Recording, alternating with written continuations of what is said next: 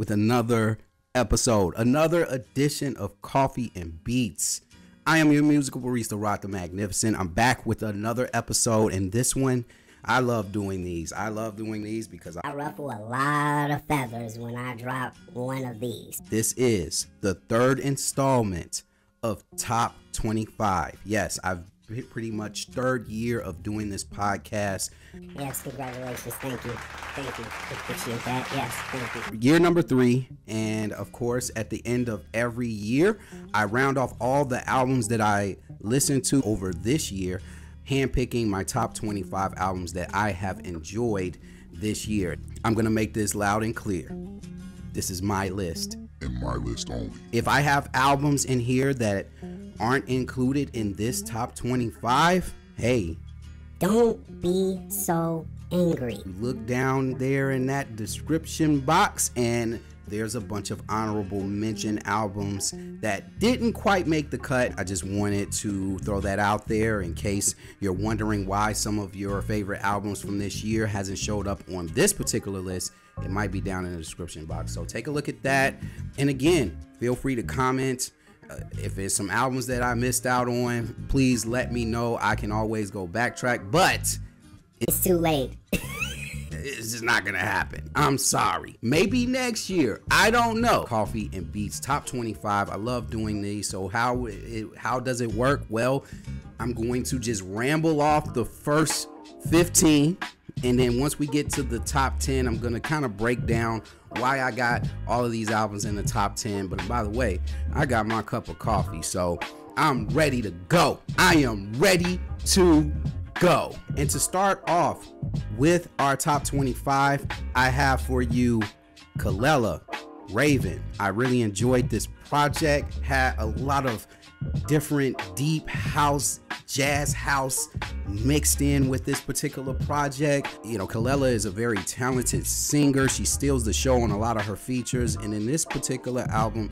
she gives you smooth, transient vocals and just it, it, was just an eloquent album to listen to all the way through. I mean, even though this album came out earlier in the season, this one still stayed in the rotation. So please give Kelela's new album a shot. Raven, it's a really good listen. I think you will enjoy it. At number 24, we got Naomi Sharon with Obsidian, and this album kind of fell on my lap a little bit.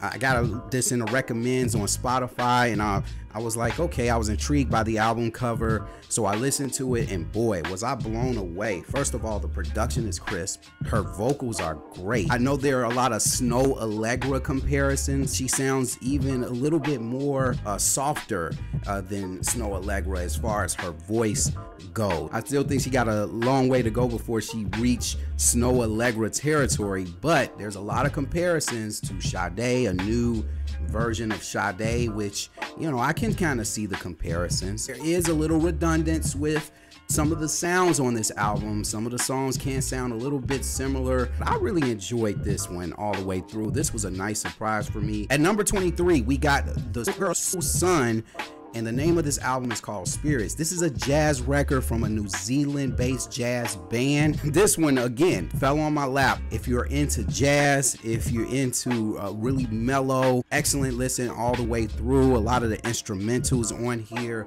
are, are, are blazing. Sonically, it sounds amazing. So, up next, we got Oh No with good vibes slash bad vibe. The first part of this album came out earlier this year, good vibes, and then part two of this album came out, bad vibes, later on in May. This particular instrumental album is pretty good by Oh No. He pays a lot of homage to Roy Ayers, and, and again, Roy Ayers is one of those go to jazz slash soul artists from back in the 70s that a lot of hip hop artists gravitate towards because of the elements of hip hop that are introduced in Roy Ayers' music from back in the day and how, it's been sampled so much uh, throughout the years. Here we celebrating 50 years of hip hop, so Roy Ayers is a huge contributor to that. But here we have Oh No giving him his flowers, remixing a lot of some of his old projects and making very good, smooth, vibrant instrumentals. Just check it out. Oh No, who's one of my favorite producers of all time.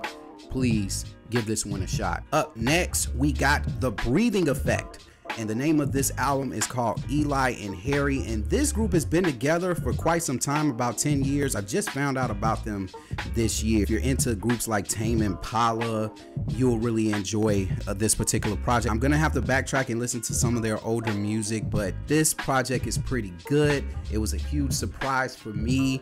There's no skips on this one. I think you will enjoy it. It's very smooth. Uh, the, the lyrics, the vocals are very good on this project. So give this one a shot. Appreciate this nice gem, and I think you will appreciate this one as well. Up next, we got Jamila Woods at number 20 on our countdown and Jamila Woods again uh, she never ceased to amazes me she never ceased to disappoint she's keeping neo soul alive and with this particular project which I had reviewed earlier this season kind of give me Mama's Gun vibes by Erykah Badu I just enjoy this project all the way through I think you will too check out Cool Hands review of this album as well. I thought he did a very good job of breaking down some of the songs on here. So give this one a shot. I think you will really enjoy this one as well. At number 19, we got Sampha with Lahai. Yeah, Sampha, Sampha, Sampha. Don't make us wait too long for that next project because this one right here is absolutely outstanding. If you love this type of mellow type of neo soul slash R&B music. And if you like artists such as James Blake you will really appreciate this project. It's high up on a lot of people's list this year. Not quite on my list because yeah I have backtracked and listened to this album but it didn't quite stay in the rotation, but I appreciate the artistry of this particular project, and I, I appreciate the amount of time that Sampha takes with with his project. Even though this is his second album, you can tell he really puts a lot of forethought into all of his projects, and I think you will really enjoy this one. Give this one a chance. I think Sampha is definitely one of the most underrated artists out right now. Up next, we got Olivia Dean. Speaking of underrated, at number 18, this artist right here has become one of my favorite artists of the year. Olivia Dean has a smooth voice. She kind of reminds me of Amel Larrieux, a more modern day version of her. And if you really like some of that pop, that boom bap type of poppy type of soul music, feel good vibes. I think this is the album for you. I love it. I enjoy it. I have backtracked and gone to this album several times. And uh, check out some of her videos as well. They're very awesome. At number 17, we got Madison McFerrin with this dope, dope project. This one is called I Hope You Can Forgive Me.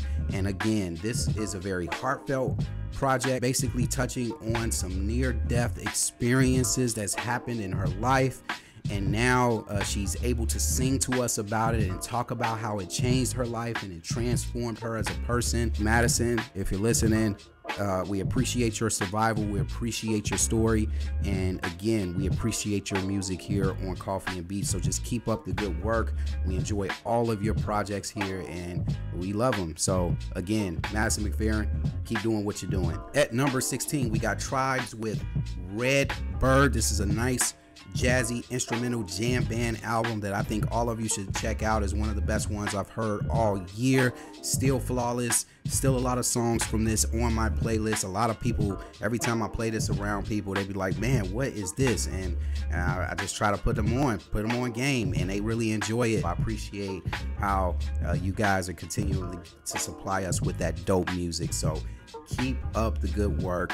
Thank you for making it on to Coffee and Beats Top 25. Alan Palomo at number 15. At number 15, Alan Palomo, formerly known as Neon Indian. And this project just gave me so many different type of 80s vibes. Great synths on this one. Miami Vice. I felt like I was watching Knight Rider. Like this album has it all. If you are a big fan of 80s music, this is the type of album that gives you those nostalgic vibes. Like, I love the direction that he went with this. You know, he's far removed from the chill wave stuff. This stuff right here is even better. And shout out to Alan Palomo giving us such an amazing project. Up next, we got Jayda G with Guy at number 14. And again, If you're into that good house music, I think this is one of the best house music releases of the year. I love her vocals on here and uh, this was a great project. I think this is one of her best albums to date. Uh, she only has two in the collection so far, but this one is by far the best one if I had to pick. And I just keep it up, Jayda G. Looking forward to a remix of this album as well. Up next, we got Jessie Ware with another fantastic project. She keeps batting a thousand, y'all. She keeps batting a thousand. That's all I gotta say, man. Go listen to the album. Jessie Ware does it again. At number 12, we got Kara Jackson with why Does the Earth Give Us People to Love? Another poetic style album with very good instrumentals, very great, clever lyricism from Kara Jackson. I am amazed by this project. This is a very good listen. Again, if you're not up on Kara Jackson, what are you waiting for? Jump on the bandwagon right now. Thank you, Kara, for giving us such an amazing personal project. Uh, the sense of humor in this project is amazing as well. So please give this one a chance if you're a fan of that soul, if you're a fan of poetry, give this one a shot. And at number 11, which just missed my top 10, Masego with his self-titled album. Again, me shout out to J6Man for sitting with me for the review of this album and this album is still in the rotation man and that's why it's at number 11 uh, again production the, the, maturity level and the lyricism from Masego you see the growth you see the progress and we just want him to keep going. We want you to keep going. Masego is one of those artists you always want to see win. And now we're going to get to the top 10 section of this episode. And to start off at number 10 we got baby rose through and through. And again I'm gonna repeat myself over and over again until my face turned blue. Please get over the voice. If we gave Nina Simone a chance and we got over her voice and we look at her as a legend, this is the perfect example of someone who has a similar voice, who has a similar delivery, and is giving out top quality music for you guys. The heart wrenching vocals that come out of her. Uh, some of the songs, you can even hear her voice crackling and, and the emotions on some of the things that, that, that she's singing about. I just enjoyed every ounce of this record through and through. Give it a shot. Give it a shot. Once you make the adjustment to her voice, which I think is a is beautiful, you'll be fine. Once you dive deep into the lyrics and the production, you're gonna really enjoy this album. I enjoyed it enough to put it in my top 10 at number 10. And so, Baby Rose, keep up the good work. Big shout out to a listener of the show, Corey Beats. Uh, I have his his tag right there so you can follow him. He makes beats and is pretty fire with it. He shouted this album out in one of the chats of one of my previous episodes and recommended this album. And boy, oh boy, oh boy, this one did not fall short of sensational. Cartoons outdid itself. Uh, his previous record didn't quite hold me like that. So I kind of went into this one a, a little bit skeptical because, again, cartoons, you know, he kind of went viral with a couple of instrumentals that he dropped on TikTok and Instagram. He's huge on social media, and I felt like some of that hype didn't really transcend into his previous album. But in this particular project right here, it is amazing. All of the uh, features came in really, really nicely uh, for him, and I, I just really enjoyed this one. This is a very good soulful album. Again, thank you, Corey Beats, for recommending this one. I enjoyed it so much. It ended up at number eight on my top 25. Let's go, cartoon. Up next, we got Terrace Martin and Gallant with Sneak. And this is another sensational project from Terrace Martin. I think Terrace Martin, just to, as a side note, is having has had one of the biggest years that I can remember for a producer. He has dropped five projects this year, and all of them are dope. One of the ones that stood out to me the most is this particular project right here. Great vocals on this one uh, by Gallant, and the production again, Terrace Martin doesn't sell you short. It's a short listen, but every track on here is fire. So it wasn't no room for mistakes on this one, and there were no mistakes, none, none. Okay, no mistakes. on this project. Every song on here is fire. And again, Terrace Martin, keep up the good work. Gallant, keep up the good work as well.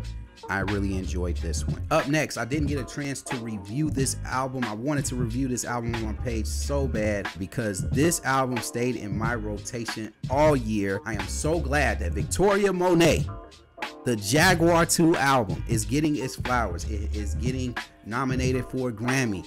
Uh, she's got several nominations for a Grammy for this particular project. I've been a big fan of Victoria since the first Jaguar. This album gives me Ciara vibes. It gives me 106 & Park vibes, like all of those early 2000 dance video, nostalgic type of uh, videos. She just brought all of that back. The whole Destiny's Child swag that she brings to the table. It's just, it's just amazing to watch. Uh, it's amazing to watch a R&B artist who has continued to grow with each album and one of those artists that pay homage to all of those before her. And uh, she's really carrying the torch uh, for a lot of the, the, the pop R&B uh, world. And this is one of the best pop R&B albums that I've heard in a long long time. Congratulations. You have made number seven on top 25 for coffee and beats and can't wait to hear more. Possibly a Jaguar 3. We'll see. Up next at number six, we got Dinner Party with Society. The beats, the production, the singing, everything about this album is dope. Dinner Party is two for two with their releases. Keep it coming. Another Terrace Martin related project too. So again, please if you haven't listened to this one give yourself a do yourself a favor check out dinner party. And now we're here at the top five. We got Cleo Sol with heaven and also gold. Man oh man. I mean what can i say? What what what what more can i say about Cleo Sol at this point. Again, another artist that continues to bat a thousand. She gets better with each project. I think all of those collaborations with Sault has also improved her as a songwriter. A lot of the writing on this thing displays so much emotion, so much energy, so much passion, so much pain, uh, such a soothing a healing project. And again, I combined both albums because both albums are short. She dropped these albums back to back, and might as well be a double CD, right? Uh, I had to put both of these albums up in the same spot because again, both both projects are just about equal.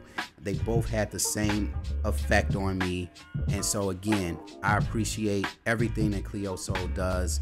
Keep it coming, and again, we look forward to hearing more projects and also hopefully some more Sault projects as well. At number four, thanks to YBSN for this recommendation. It's not this high on my list because of that. It's high on my list because this is one of the dopest instrumental projects of the year. Snacks, Mind Design.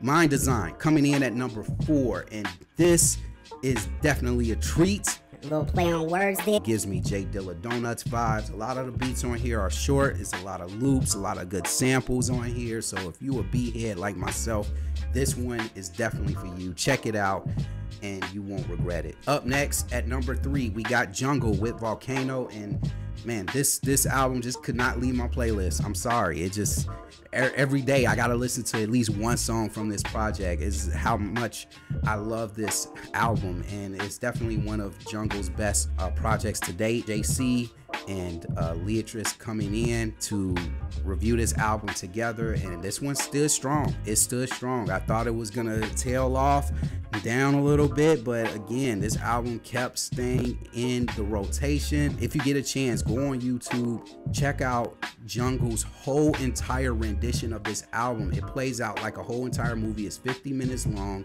so check it out. They combine choreography from each and every song and made it into a huge movie. And so check it out. I think you'll really enjoy it. Jungle, man, appreciate it. Appreciate this one. Sweet salute here on Coffee and Beat. At number two, we got Aja Monet with When the Poems Do What They Do. And again, if you have not checked out her Tiny Desk, please feel free to do so. I'll have the link down in the description below so you can get a nice feel for her as a poet, as an artist, and as a person. I think this album is very personal, stressing the importance of love in a world that is so corrupt. The lyrics on here, the wordplay, it has everything that you want off a poet based album. I think it, it has all the elements that you look for. The production on here is smooth, the bongos and all that other stuff, man. You can hear all of that. Very, very jazzy production on this one. So Aja Monet is definitely one of those artists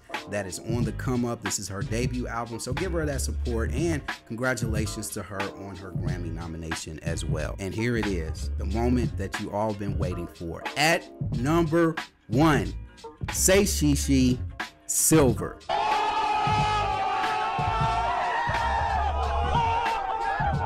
Yo, I discovered this group. I discovered this group two years ago when I first started this Coffee and Beats channel, and they only had one song on Spotify, and it was Forget Me Nots. And when I watched that video and I listened to that song, I said to myself, I've never had an instant reaction where I said, This group can be huge. From that point on, and uh, being able to shout them out in my first season of Coffee and Beats, and being able to review their Prism album, which was really good, and then dropping Silver out of nowhere, which has a lot of disco infused tracks on here. It has a lot of important message in the lyrics in a lot of these songs. It's jazzy in some areas, a lot of good instrumentals on here. The vocals are are the harmonies. It has it all. Say She She gives me En Vogue vibes where, you know, each singer is in harmony with the next. And it creates even something else within the song that you can just vibe to. Also got a chance to see them in concert and they put on a show.